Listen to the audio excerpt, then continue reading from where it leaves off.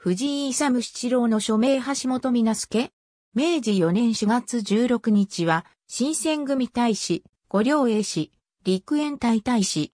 変名に、水野八郎、藤井勇七郎、意味川俊長、大和郡山藩出身。脱藩して、水戸天狗島の筑波山挙兵に応じ、慶応2年に新選組に入隊。仮大使となる。三条政殺事件の功労によって、正式大使となり、五長に昇格するが、慶応3年には、伊藤杵太郎らと同意して新選組を離脱、五両英氏を結成。しかし、その5ヶ月後に五両英氏も脱退し、陸援隊に入隊。鷲尾高津の高野山挙兵に参加後、明治元年3月8日、軍曹に選ばれる。明治2年4月まで兵部省で裁判所等、助役取県追部首頭取を務めたが、土佐藩出身の木村弁護士と小田原藩からの取り上げ金配分に関して、不埒の趣があり、禁錮処分を下され、翌明治3年9月1日に免ぜられる。同3日には、郡山藩に復籍を命じられた。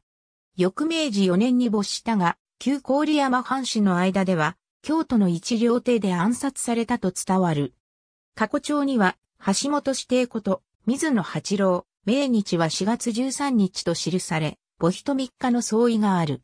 去年38。墓所は奈良県大和郡山市の上皇寺。墓参りをすると腹痛が治る伝承がある。鷲尾高津等決名書、慶応3年8月、東京大学資料編纂所蔵、軍曹名跡録防衛省防衛研究所蔵、ABCD、元軍曹、水野八郎淵前郡山藩にて交付、大乗類天総行、第一編、慶応三年明治四年、第百八十巻、理在、六世後国立公文書館像、不老勤王の死を、巨家軍曹、となし法録を急す、大乗類天、第一編、慶応三年明治四年、第百六巻、平成、陸海軍完成国立公文書館像 ABC、水野八郎の墓。電気三巻4号、67。ありがとうございます。